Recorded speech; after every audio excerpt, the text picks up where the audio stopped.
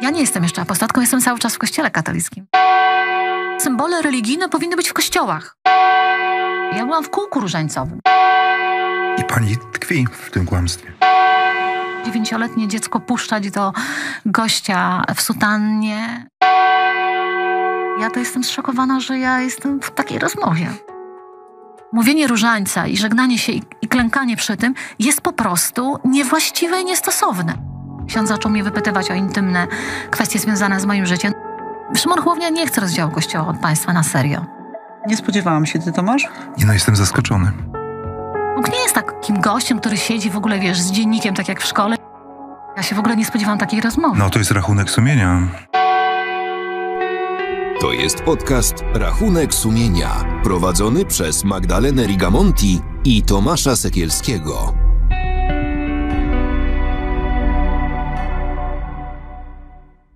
Tomasz Sekielski, Magdalena Rigamonti, rachunek sumienia. wspólny podcast Onetu i Newsweeka. Odsłaniamy rozmaite tajemnice wiary.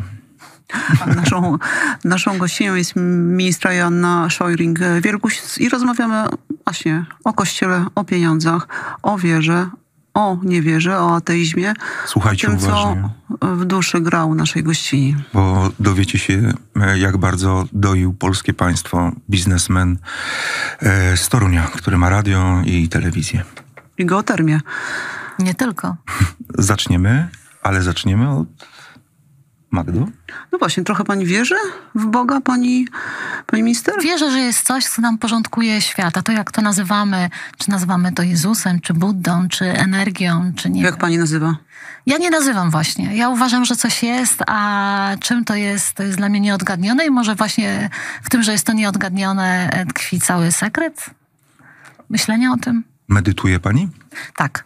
Staram się, nie potrafię jeszcze robić tego dobrze, e, ale rzeczywiście bardzo mocno zwracam uwagę na to, e, na higienę własnego życia, dlatego że e, ta nasza praca jest po prostu jakimś totalnym takim rollercoasterem, więc bardzo ważne jest, żeby ćwiczyć, żeby mieć czas na uspokojenie e, i żeby e, mieć czas na relaks, który jest potrzebny. Relaksuję się w kinie, tak a propos. Kiedy umarł pani mąż, to była trwoga? Bo jak trwoga, to do Boga. Nie, było pytanie, dlaczego mi się to przydarzyło.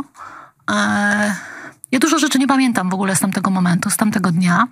Mam czarne plamy, ale pamiętam, że od momentu, kiedy to się wydarzyło i kiedy wykonałam pierwszy telefon do mojego ojca, e, to nie byłam już sama e, w, przez ten czas.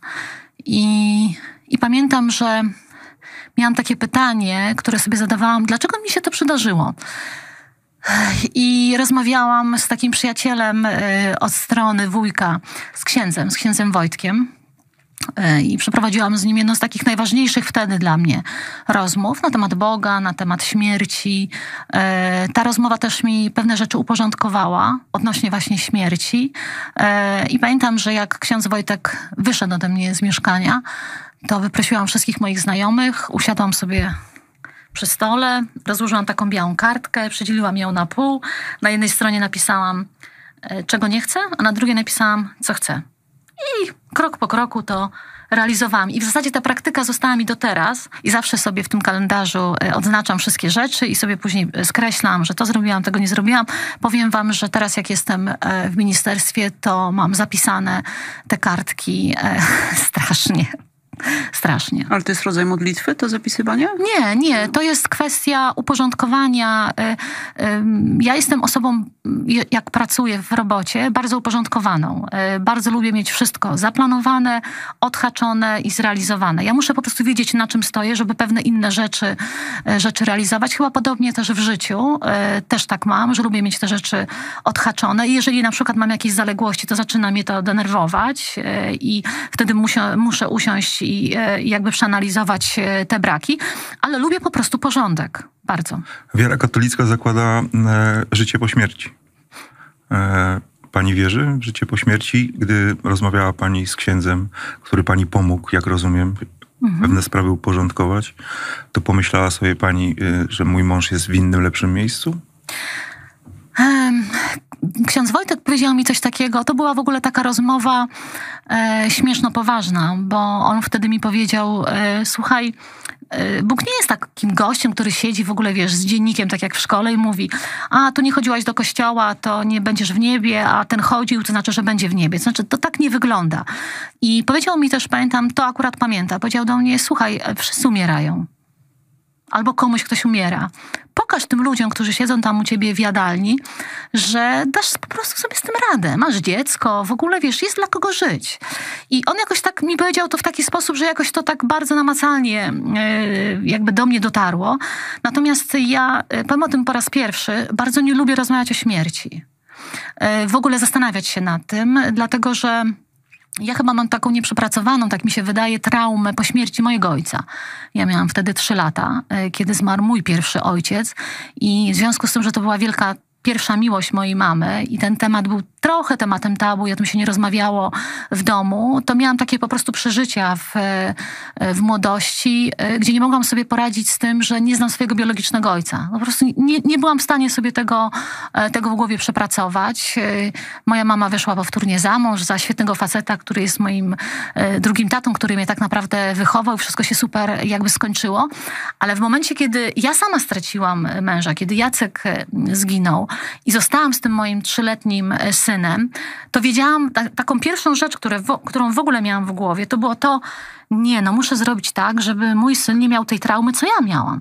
Jakby muszę po prostu, i dlatego na tej kartce zapisałam sobie te rzeczy, ja sobie wtedy jakby zaczęłam przypominać te wszystkie rzeczy, y, y, które mi głowę wtedy, y, nie wiem, zajmowały, żeby mój syn jakby tego nie przeżywał i chyba mi się to udało. Tak mi się wydaje, że to jest taki jeden z moich najważniejszych sukcesów życiowych. Mogę ja? O jakich Ale tematach oczywiście. rozmawiamy? Ja się w ogóle nie spodziewałam takiej rozmowy. No to jest rachunek sumienia. Dobrze. Rachunek sumienia o Bogu, duchowości i pieniądzach, ale teraz o pieniądze. Mhm. Pani mieszka w Toruniu. E, e, prezes Rydzyk, ojciec Rydzyk, dyrektor Rydzyk też mieszka w Toruniu, tam robi swoje biznesy, ale pani teraz e, zarządza pieniędzmi w Ministerstwie Kultury i Dziedzictwa Narodowego. Wjeżdża pani walcem w te e, sprawy dotyczące finansowania ojca Rydzyka i jego różnych biznesowych przedsięwzięć? Tak. e, Ja już wcześniej wjeżdżałam tym walcem, jeszcze jak nie byłam ministrą. Z tego, co chyba się udało ustalić, w ogóle ryzyk e, od wszystkich w zasadzie minister został około 400 milionów złotych. A od kultury ile? E, Tego nie wiem jeszcze dokładnie. Czekam na Miesiąc te- pani tam jest zaraz. Jeszcze Cholera. pani nie policzyła? Ale ja jakie rzeczy inne znalazłam. Jakie? No dużo innych rzeczy. Y, Będziemy sukcesywnie o tym mówić. Nie chciałabym teraz wszystkiego zdradzać, bo przygotowujemy sobie taki cykl konferencji, które będą to odsłaniać, ale chciałabym jednak wrócić do tego ryzyka. Bardzo dziękuję pani redaktor, że pani powiedziała prezes ryzyk.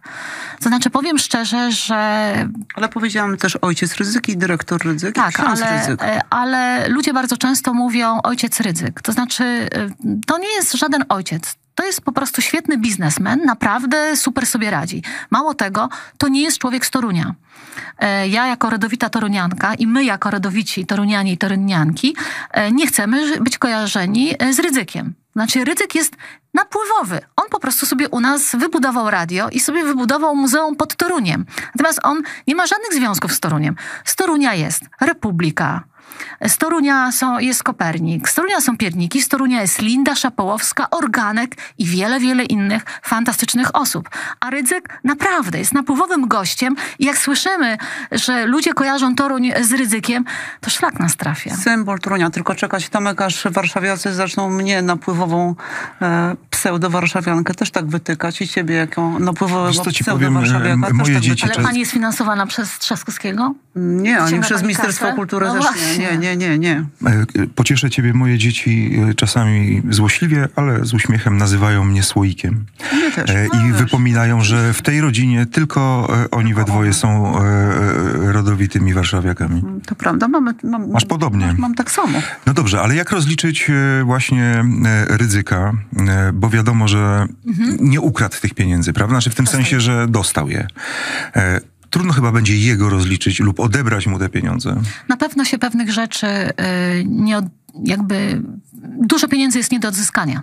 E, Na przykład na te, które zostały na przykład wydane na Muzeum Pamięć i Tożsamość. To Ponad znaczy- 200 milionów, prawda? tak, ale on też dostał tam mnóstwo kasy od premiera Morawieckiego z rezerwy tej e, budżetowej, bo też akurat to sprawdzałam. Ale Kurek został zakręcony. Znaczy, jeżeli pan Rydzyk i ludzie z jego licznych fundacji i spółek chcą jakieś pieniądze na swoje działania, niech startują w konkursach. Więcej pieniędzy od pani nie wypłynie dla e, ojca ryzyka? Absolutnie nie ma takiej możliwości. Nie ma takiej możliwości. E, Wszystko to sprawdzamy. Jak będę miała pełny raport, będzie on opublikowany. A jak rozliczyć tych, którzy przyznawali e, tak gigantyczne dotacje? Wiadomo, był, znaczy moim zdaniem, e, Tadeusz Rydzyk był finansowany przez PiS po to, żeby mówił do księży, którzy go słuchają e, przez Radio Maryja, przekaz e, polityczny zgodny z wolą Jarosława Kaczyńskiego i w ten sposób PiS, przelewając gigantyczne sumy, odpłacał się e, biznesmenowi z Torunia za to, co robią jego media.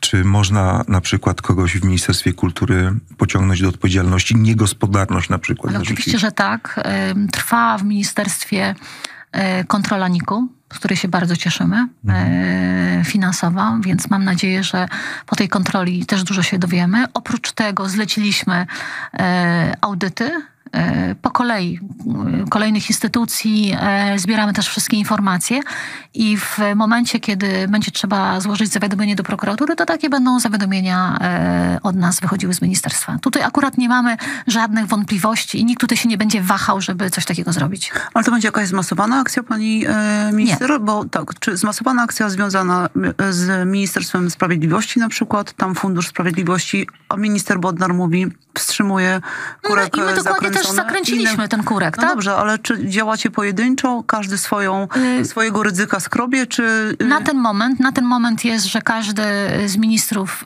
wszedł do tego ministerstwa i próbuje się odkopać w ogóle w, w tym śmietniku różnych spraw i segregować te wszystkie A to znaczy, że jest bałagan, tak? Finansowy. Oj, tak, znaczy organizacyjny, no w ogóle ta praca jest fascynująca, żeby nie było, bo, bo oczywiście ona jest bardzo ciężka, intensywna, pracujemy 24 godziny na dobę, w weekendy, e, bo też zależy nam na sprawdzeniu jak najszybciej, jak największej liczby liczby e, e, kwestii, które trzeba ogarnąć, ale y, być może w którymś momencie e, trzeba będzie po prostu połączyć siły. Znaczy ja jestem w kontakcie z Ministerstwem na przykład Sprawiedliwości, też w kwestiach związanych z Kościołem, bo to jest też taki temat, na który nie mam kompletnie teraz czasu, ale nie chcę go odpuścić. Wrócę na chwilę do e, ojca Ryzyka, do preze, Mhm. prezesa e, Ryzyka, bo jak rozumiem, Tomek Sekielski pytał o, o wydatki też związane z em, ojcem Ryzykiem, bo to, że muzeum za ponad 200 milionów, Mhm. to, co, to, że e, e, geotermalne, Mhm. to, że inne rzeczy, to, to mniej więcej wiemy, ale o konkretach nie wiemy. Pani E, zobaczyła te dokumenty i co? Nie, ja jeszcze nie mam takich. Ja poprosiłam o taki wykaz wszystkich konkursów, wszystkich dotacji, wszystkich jakby listów, bo to też jest ciekawe, bo w ministerstwie może ludzie tego nie wiedzą, może trzeba to powiedzieć. Jest system, gdzie jakby mamy w tym systemie całą korespondencję, która przychodziła do ministerstwa i wychodziła, i jakby też na podstawie korespondencji myślę, że dosyć dużo ciekawych e, rzeczy możemy się dowiedzieć. Co ojciec ja jestem. pisał do e, Tego jeszcze nie wiem.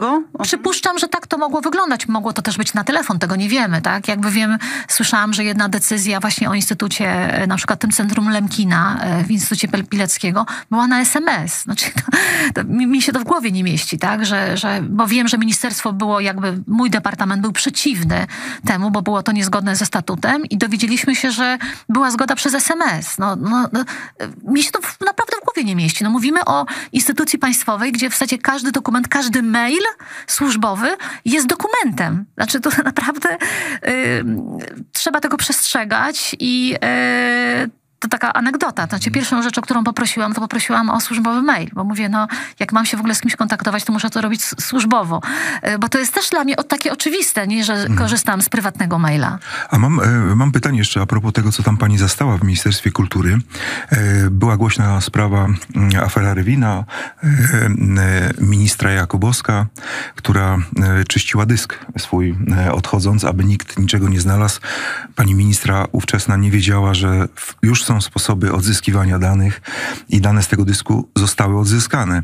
E, czy ma Pani jakieś informacje, by próbowano e, coś właśnie wymazywać, niszczyć e, w Ministerstwie Kultury? Nie wiem, nawet nie zadałam takiego pytania, więc teraz pan redaktor dał mi super pomysł na to, żeby to sprawdzić. A ja prawdopodobnie, z tego co pamiętam, chyba jestem w ogóle w gabinecie pani Jakubowskiej, tak mi się wydaje. A gabinet mam teraz po pani Zwinogrodzkiej. Tak. Nie, nie zapytałam o to, więc to jest, tak, zapytam o to. Bo ojciec ryzyk to jest e, jedna sprawa. E, instytucje kościelne, zabytki, e, e, imprezy organizowane albo współorganizowane przez Kościół, a dotowane przez Ministerstwo Kultury to jest e, druga sprawa. Już jest ogląd po tym miesiącu? Nie to, to, to nie jest takie proste, dlatego że tych informacji jest naprawdę bardzo dużo, tych departamentów jest bardzo dużo, są przecież fundusze europejskie, tak? E, e, Jak będzie ten moment, kiedy będziemy e, to ogłaszać, to krok po kroku to zrobimy. Jest pani e, symbolem, e, jeśli chodzi o polskich polityków, e, walki z patologią w kościele, patologią straszną, bo dotyczącą przestępstw pedofilskich, gwałcenia dzieci, wykorzystywania ich seksualnie. Zajmuje się pani teraz czym, czymś zupełnie innym i na pewno nie będzie miała pani czasu. Kto przejmie po pani interesowanie się tym tematem, zabieganie o to, żeby Ministerstwo Sprawiedliwości cofnęło choćby tę e, niesławną e, rekomendację prokuratorów, e, gdzie prokuratorzy mieli meldować o każdym przypadku i traktować Kościół na specjalnych zasadach. E, Jest ktoś taki, w ogóle widzi pani kogoś takiego, kto pociągnie tę sprawę za panią? Nie widzę. Ale mm, panie redaktorze, rzutem na taśmę jeszcze, jak nie byłam ministrą, e, świadomie założyłam parlamentarny zespół rozdziału Kościoła od państwa. Założyłam ten zespół. On nie jest liczny, ale założyłam go po to, e, żeby w momencie, kiedy ogarnę się w ministerstwie, żeby usiąść sobie z tym moim moleskinem i zastanowić się, jak tych kwestii nie zostawić. Znaczy, ja tych kwestii nie zostawię. Niezależnie od tego, czy jestem teraz ministrem kultury, czy nie. I jedną rzecz już mi się udało zrobić. To, że Karolina Bućko jest przewodniczącą Komisji do Spraw Pedofilii, no to jest, e, nieskromnie powiem, moja zasługa. To znaczy w, przysłowiowo położyłam się rejtanem i razem z Krzyśkiem Gawkowskim e, bardzo walczyliśmy o to, żeby Karolina Bućko, żeby ją tam wprowadzić, żeby ona została poparta przez całą koalicję, żeby tam była. A dlaczego trzeba było kłaść się rejtanem?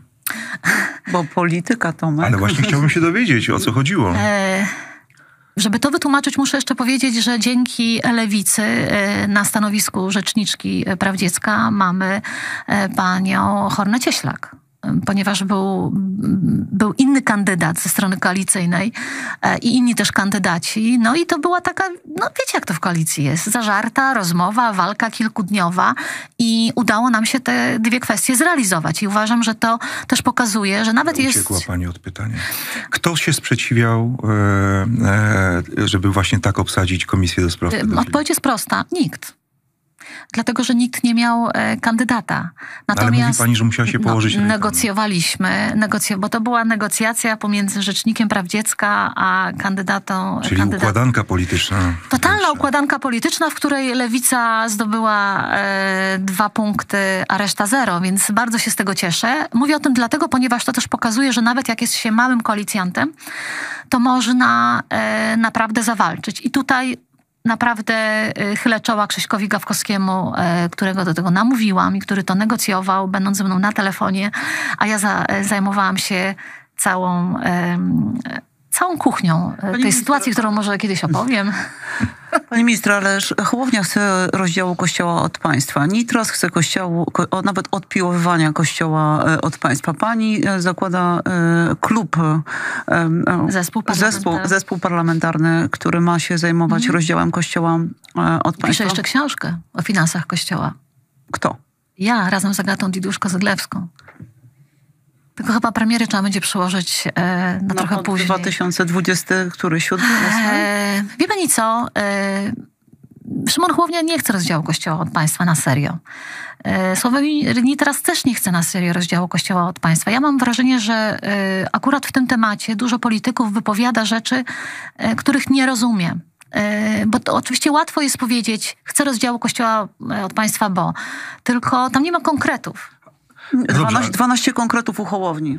No ale te konkrety tak naprawdę pokazują, że e, jeżeli chodzi o wiedzę, e, o te materie, to nie za bardzo wiedzą, z, z czym się e, Ale dobrze, ale konfrontują. e, Donald Tusk mówi, likwidujemy fundusz kościelny, wprowadzimy dobrowolne odliczenie od podatku, Dobrze. tak jak na... Zgadzam tak? się. W porządku, ale, ale wie pani, że tak naprawdę to i tak są pieniądze budżetowe. Tak, to jest chyba z 250 Tak. milionów, Znaczy- które na przykład można byłoby przeznaczyć na... Zmienia się tylko forma ich obiegu. No tak, ale Kościół może wtedy na przykład można wprowadzić odpis od podatku i wtedy każdy z nas będzie decydował, jak będzie robił swojego pita, czy chce dawać na Kościół, czy nie. I okaże się wtedy, że gdyby była taka zasada, że tych osób chętnych, które będą dawały na Kościół, będzie z 20%. Myśli pani, że tak słabo? No jeżeli e, do kościoła co niedzielę chodzi ile? Niecałe 30%? No ale to znaczy, że nie będą mieli z czego żyć?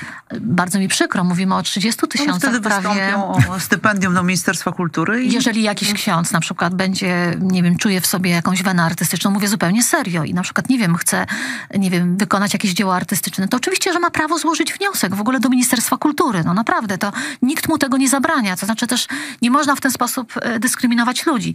Ale e, 30 tysięcy, około 30 tysięcy e, księży i biskupów w Polsce nie może być e, traktowane w sposób uprzywilejowany. I teraz, jak mówimy o świeckim państwie, to ludzie mówią, ale tego się nie da, bo tutaj trzeba ustawę i tak dalej. Mm, Nie we wszystkim trzeba ustawę. Można zrobić pierwsze kroki.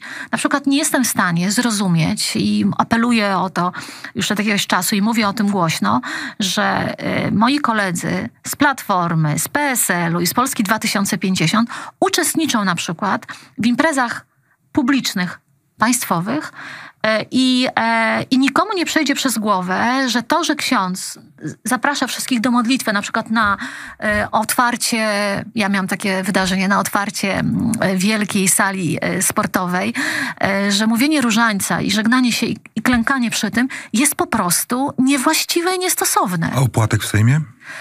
Ja w ogóle uważam, że w Sejmie nie powinny się odbywać żadne wydarzenia związane z jakimkolwiek z kościołów. To znaczy, Sejm powinien być kolebką świeckości i kolebką dla wszystkich. Czyli żydowskie symbole, Też judaistyczne uważam. symbole, Uważam, nie palenie. Ja- świec e, z okazji Ja Hanuki też, ja nie? nie chodzę na opłatek, Czyli Brown nie miał, byłam, miał rację, że gaśnicą... E, Nie, e, Brown nie miał racji, bo Brown zachował się w sposób e, skandaliczny i zaatakował e, kobietę i zrobił coś, co nigdy w ogóle nie powinno się wydarzyć. To nie ma znaczenia, czy to, czy to jest w Sejmie, czy gdziekolwiek indziej, bo Brown zachowywał się skandalicznie w wielu innych ale miejscach. taki- na ale uniwersytecie. taki, ale taki symbol nie powinien być w, w Sejmie. Ja uważam, że symbole religijne powinny być w kościołach, a nie w polskim Sejmie. Polski... Gdyby była pani marszałkinią Sejmu, zdjęłaby pani krzyż z, Tak. z sali posiedzeń plenarnych? Tak. Ja w ogóle wierzę w taki czas, kiedy lewica będzie miała e, więcej szabli w Sejmie i że taki czas e, kiedyś nadejdzie i patrzę na to z optymizmem, dlatego że świat naprawdę się zmienia. To znaczy mamy e, nowe pokolenie polityków w każdej z partii.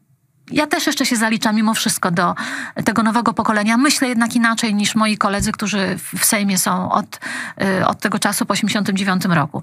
Mamy e, młode pokolenie ludzi, którzy e, 15 października po raz pierwszy wyrazili swoje zdanie na temat polityki i tego, co o niej myślą. Świat się zmienia, to znaczy jest y, y, bardziej wirtualny niż realny. Ale tylko często. wy, e, lewicowcy, umiecie oddzielić Kościół od państwa?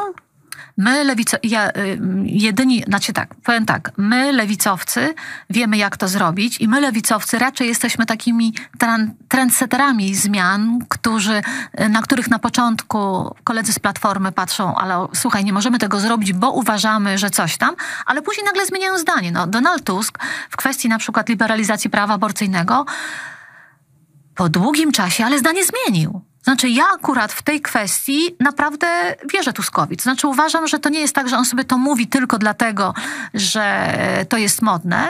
E, Uważam, że tak na przykład mówił w 2015 roku, kiedy mówił o związkach partnerskich, że mówił o tym, że to zrobi, ale w ogóle w to nie wierzył, nie był przekonany. Ale teraz, jak to mówi, to teraz już mu wierzę, bo widzę, że po tej, po tej jego pracy w Parlamencie Europejskim, gdzie jednak spotykał się z innymi politykami, jakby był w innym środowisku politycznym, naprawdę e, dużo zobaczył, dużo się nauczył i dużo zrozumiał. I to też nie jest jakby kpina żadna, bo ja uważam, że każdy z nas, mówiąc słowami Andrzeja Dudy, uczy się całe życie i bardzo dobrze.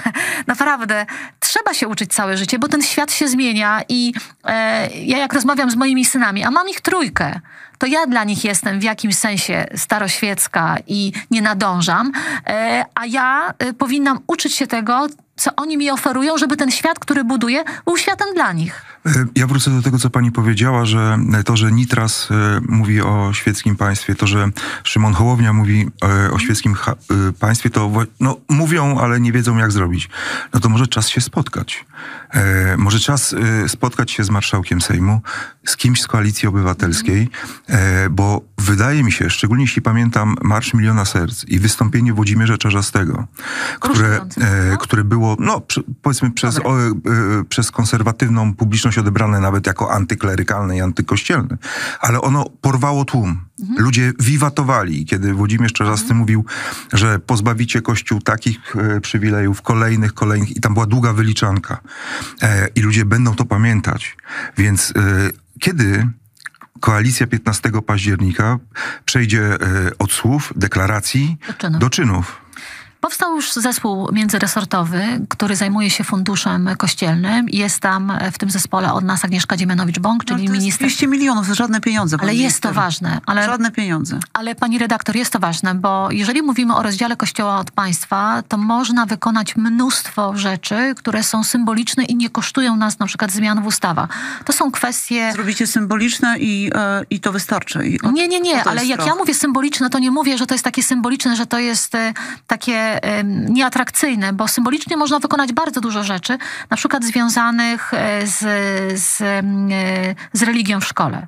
Barbara Nowacka, e, ministra edukacji, zapowiedziała tą jedną lekcję religii w szkole. Ja oczywiście uważam, że religia powinna być poza szkołą, no ale Synowie chodzą? no oczywiście, że nie. Nie chodzili. Byli jedynymi, którzy nie chodzili i zawsze im koledzy zazdrościli. Ale ja na przykład chodziłam na religioznawstwo. Świetne to były lekcje. Naprawdę, bardzo rozwijające i gdyby na przykład religioznawstwo było w szkole, to super, bo ono jednak otwiera głowę na, na inne religie i na inne wyznania. I jest mnóstwo takich rzeczy, które na przykład... A to kiedy zniknie religia ze szkoły? Mam nadzieję, że od września będzie wprowadzona tylko ta jedna lekcja religii, ale też ja bym chciała, żeby, okej, jedna lekcja religii, ale też żeby za tym em, szło na przykład coś takiego jak edukacja em, seksualna w szkole, aby nie było takiego przymusowego chodzenia dzieciaków na rekolekcje, na, żeby nie było em, czegoś takiego, że szkoła rozpoczyna się zaraz po mszy, która jest w kościele. To, no, no, jak ktoś chce iść sobie na mszę rano, to niech sobie idzie, tak? ale to nie musi być związane ze szkołą, która powinna być miejscem dla wszystkich, a nie tylko dla katolików, bo tych katolików, jak już wiemy, w Polsce jest coraz mniej, a w ogóle uczęszczających, którzy się deklarują, no to ile? Prawie 30%? Ale pani, Może pani mniej. minister, pani jest uważana za takiego antykościelnego oszołoma w tej e, koalicji? Nie. Nie? Wie pani co, ja, ja naprawdę, szczerze, ja naprawdę mam gdzieś, co sobie e, ktoś o mnie pomyśli, czy mnie nazywa Kolegów, radykalną. o kolegów i koleżanki pytam. Nie mam zielonego pojęcia. Pani redaktor, nie, nie pytam się, co ktoś o mnie myśli. E, najważniejsze jest dla mnie to, co myśli o mnie moja rodzina, a reszta to są jakieś opinie, czasami stereotypowe, e, niepoparte, e, nie wiem, jakimś nie wiem, przykładami. Ja często na przykład em, spotykam się z takim, to było w kampanii w ogóle bardzo mocno widoczne, jak jeździliśmy po Polsce, robiliśmy trzy miasta dziennie. I e, przychodzili na nasze spotkania ludzie związani e, z Prawem i Sprawiedliwością albo głosujący na e, prawicowe partie. I e, zadawali pytania, mieli taką odwagę, bo to też było ciekawe, że w końcu się od, e, odważali i wchodziliśmy z nimi w relacje. Ja w ogóle bardzo zawsze lubiłam wchodzić w relacje, w dialog z tymi ludźmi. E, one od początku, od samego początku były bardzo konfrontacyjne, ale przez moją rozmowę e, i chęć rozmowy z tymi ludźmi kończyły się zawsze bardzo dobrze. I ja się spotkałam z wieloma takimi reakcjami, kiedy ludzie mówili do mnie, ale pani jest taka normalna i sympatyczna taka taka normalna i sympatyczna, bo ja taka jestem. Znaczy to, że ja ujawniam przestępstwa, bo ktoś może kiedyś to nazwał, że to jest radykalne i że to jest atakujące Ale kościół. po co pani wlazła, pani minister, wtedy do tego kościoła z tymi aborcyjnymi hasłami w 2020 roku? Z jakimi aborcyjnymi hasłami? Co pani miała w tym napisane na Aha, tym? mówi pani o kościele. No pewnie. Wlazła pani do kościoła w trakcie mszy z mężem wtedy? Tak. Z mężem. Po co? Zakłóciła pani mszę. Nie zakłóciłam mszy. Mam prawomocny wyrok, który mówi, że nie zakłóciłam mszy. Mało tego, byłam w tym kościele, obudziłam się rano, może powiem kuchnię tego, obudziłam się rano, wiedziałam, że jest akcja Słowo na niedzielę i czułam, że y, powinnam mm, wypowiedzieć się w tej kwestii w jakiś sposób. Znaczy ja mam coś takiego, że e, jak wiem, że mam coś zrobić, e, to nikt mnie nie powstrzyma od tego, żebym tego nie zrobiła. I wiedziałam, że coś muszę zrobić, tylko jeszcze nie wiedziałam co. I obudziłam mojego męża i mówię, Piotr, słuchaj, opowiedziałam o tej akcji, że jest taka akcja, może powinniśmy jakoś, nie wiem, mówię, zaprotestować, coś powiedzieć, mówię tym kobietom, które są w kościele, mam taki pomysł, y, co ty na to? I Piotr mówi, spoko, zróbmy to w naszym kościele, w którym braliśmy ślub. A, ślub kościelny był. Tak, z moim mężem drugim tak. Był taki bardzo e, e, dla rodziny. Ateistka. Nie, Antykościelna. nie, nie, ja nie jestem ateistką. Właśnie to w Na nie Wikipedii wiem- jest napisane Ja nie wiem w ogóle, kto na ateistka. Na Ateistka, Wikipedii to państwa. napisał. No to ślub kościelny. E, Widziałaś Tomek? Tak. Jestem oburzony, też mam się? ślub kościelny. 2000, 2000, Ja nie mam. 2001, 2001 rok. E, Miałam piękną suknię w kwiaty. I była świetna impreza później. Dla Kiecki? Ten ślub? Nie wiem, dla rodziców. Boga? Nie, ale już teraz zupełnie serio. Y, Ja byłam wtedy w takim, w takim momencie y, swojego życia, kiedy i bardzo dużo osób tak ma, że pewne rzeczy robi, a to zróbmy, bo rodzice się obrażą, bo a co powiedzą Dla w rodziny. ogóle, dla rodziny. I ja też takie decyzje podejmowałam i Przecież My pani ten ślub- duża. E, No ale. Boga. Ale to nie znaczy, że akurat w tej kwestii e, miałam, nie wiem, wiedzę, świadomość. Tak jak powiedziałam, każdy z nas się uczy. I wzięliśmy ten ślub kościelny. On był krótki, e, e, sympatyczny. Świetna była impreza po, później dla znajomych w klubie Odnowa w Toruniu. Do teraz ją e, wszyscy wspominają, bo była naprawdę niezła. Ale e, i, i pamiętam potem, że mój pierwszy syn był ochrzczony był u komunii i po komunii powiedział tak, słuchajcie, ale coś jest tutaj nie tak, bo my do kościoła nie chodzimy, ja tutaj jestem, e, nie wiem, jest komunia, to jest w ogóle kłamstwo.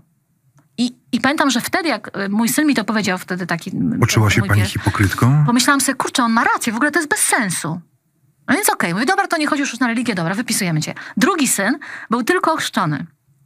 Ale już nie był komunii i nie był, e, e, i nie był na lekcji religii, a ostatni e, jest totalnym w ogóle antychrystem, ponieważ nie był ochrzczony i na lekcji religii też nie To jest chodził. bardzo niesprawiedliwe w stosunku do Więc, dzieci, e, proszę państwa, prawda Tomek? Więc, Oczywiście. e, ale mówię o tym wszystkie dlatego, sakramenty, matka po ślubie kościelnym, a dziecko ale mówię o tym, prostu... ale mówię o tym dlatego, a jest wspaniały, kochany. A kto właśnie, kto, wspaniały. kto będzie zbawiony później? E, zawsze mówi, że on nie ma takich problemów z tym, żeby odchodzić od kościoła, bo przecież w ogóle w nim nie jest. E, e, Ale pamiętam taką śmieszną sytuację, jak jeździliśmy, pamiętam, z dzieciakami na rowerach i ten najmłodszy był taki naj, naj, najmniejszy, przyjeżdżaliśmy koło kościoła e, i jedziemy na tych rowerach i nagle Oluś hamuje ten rower i mówi tak, stop!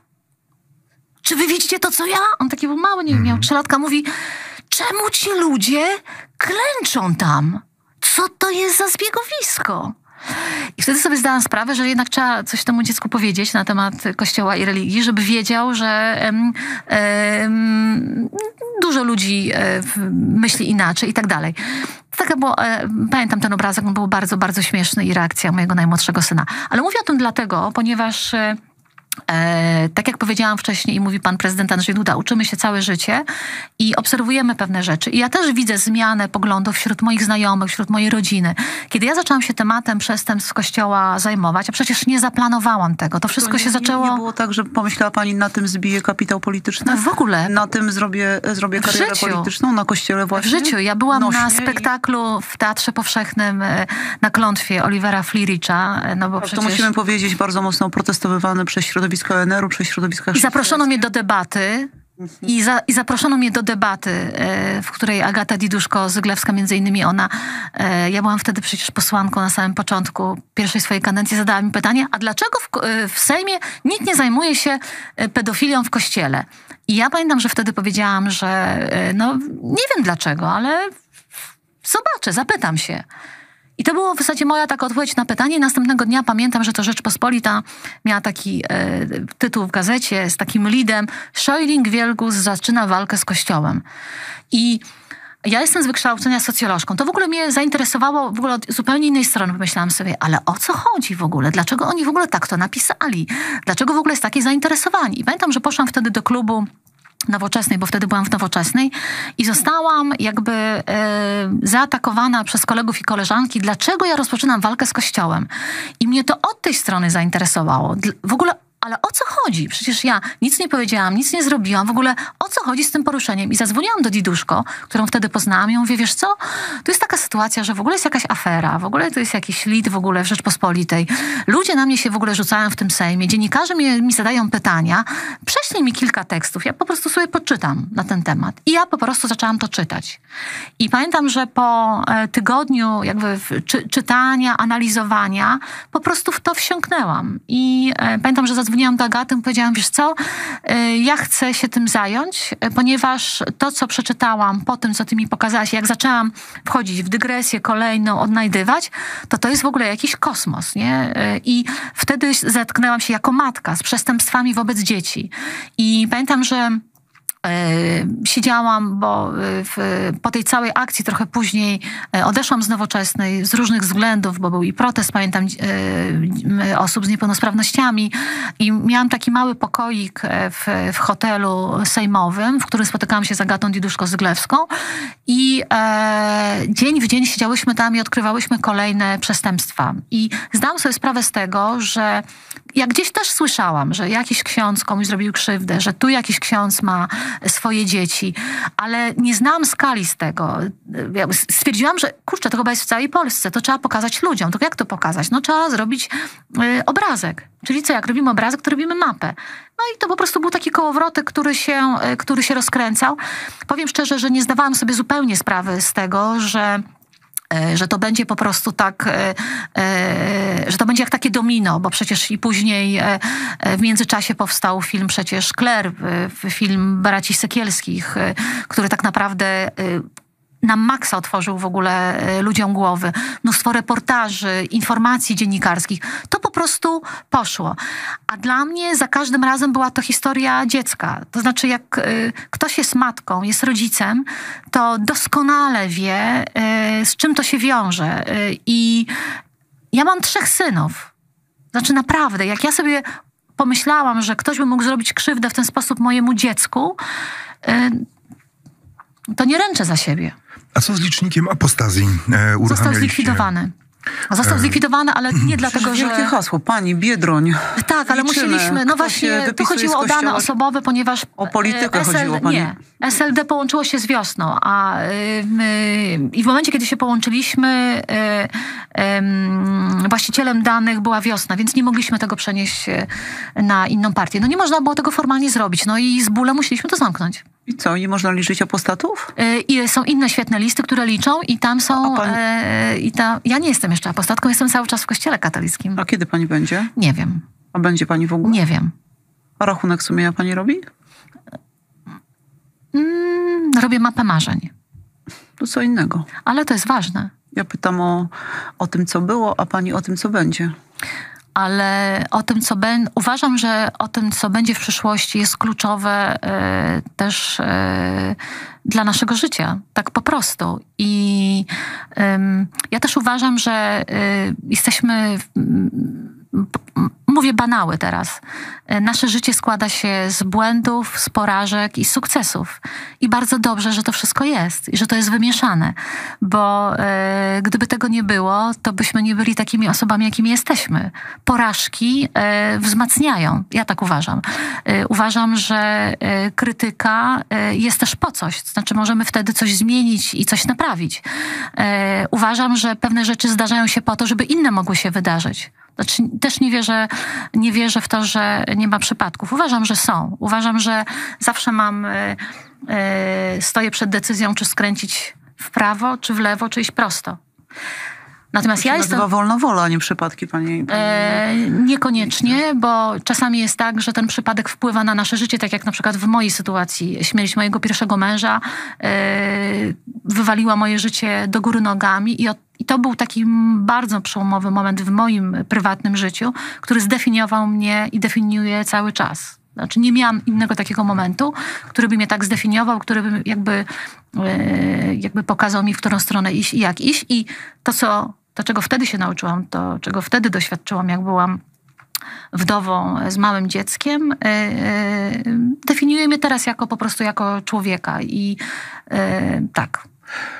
Pani ministro, ja muszę dopytać, e, dlaczego formalnie wciąż należy pani do Kościoła katolickiego? W sumie e, nigdy się nad tym nie zastanawiałam. Przecież e, pani namawiała innych do odejścia z kościoła. ale, Licznik apostazji to jest ale ja odchodźcie, uważam, odchodźcie, każdy- zapisujcie się. Tak, ale, Zapisujcie. ale każdy, bo wiem, że Agata Diduszko jest apostatką, Robert jest e, też po apostazji.